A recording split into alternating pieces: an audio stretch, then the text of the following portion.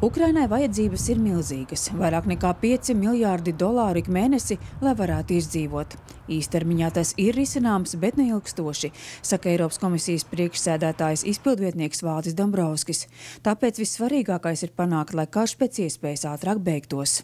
Tā ir summa, lai nodrošinātu daudz maz normālu valsts funkcionēšanu, nu, cik nu, tas kara apstākļos ir eh, iespējams, tad, lai nofinansētu valsts uh, pamatfunkcijas, lai varētu samaksāt uh, algas, uh, pensijas un tā tālāk. Tā tas ir nu, tāds daudz maz normāls valsts funkcionēšanas nodrošināšanai, jo kara sekas uz Ukraiņas ekonomika ir uh, graujošas. Tad Pasaules bankas vērtējums ir, ka Ukraiņas uh, ekonomika šogad samazināsies par 45%. Uh, nu, mēs arī redzam šos masīvos postījumus, ko Krievijas armija nodara gan, gan Ukraiņas infrastruktūrai, gan ražošai nozarei, gan dzīvojamiem kvartāliem. Tā kā skaidrs, ka šis nu, finansējums, tā finansējuma nepieciešamība ir ļoti liela.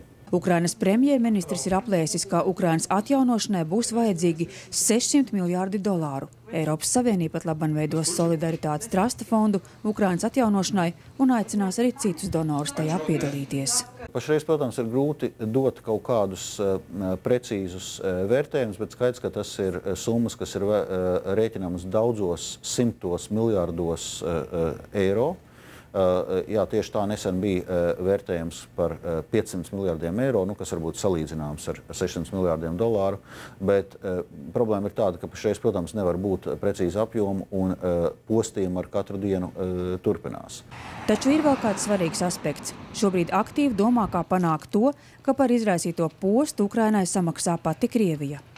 Atsevišķi jautājums ir arī, cik lielā mērā mēs varam nodrošināt, ka Krievija maksā par šiem postījumiem atbilstoši starptautiskiem nu, juridiskiem principiem, ka agresors maksā ka agresoram ir jā, jāveic šīs reparācijas. Un pašreiz mēs esam iesaldējuši lielu apjomu Krievijas aktīvu, tā skaitā centrālās bankas aktīvu, līdz ar to pašreiz notiek arī Eh, izvērtējums, kādas ir juridiskās iespējas šos aktīvus arī novar, eh, novirzīt Ukraiņas atjaunošanu.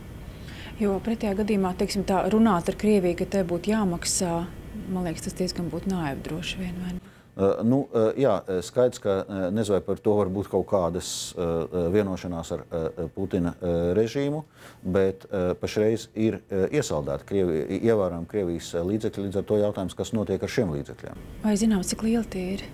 Tātad nu, šīs summas pašreiz svārstās, ja mēs runājam par Krievijas centrālās bankas līdzekļiem, tie kopumā varētu būt vairāki simti miljārdu eiro. Ja mēs runājam par privātajiem līdzekļiem, nu, faktiski šī līdzekļu iesaldēšana katru dienu turpinās. Tā summa pašreiz, ja nemaldos, bija kaut kur Eiropas Savienībā ap kādiem 29 miljardiem eiro. Eh, un eh, jau pašreiz eh, Eiropas komisijā darbojās speciāla darba grupa, kas nodarbojas ar to, kādā veidā nu, nodrošināt šo aktīvu iesaldēšanu un potenciāli arī konfiscēšanu. Šos iegūtos līdzekļus izmantotu Ukrainas bēgļu atbalstam. Īna Strasdiņa, Ingus Graudiņš, Latvijas televīzija no Vašingtonas, ASV.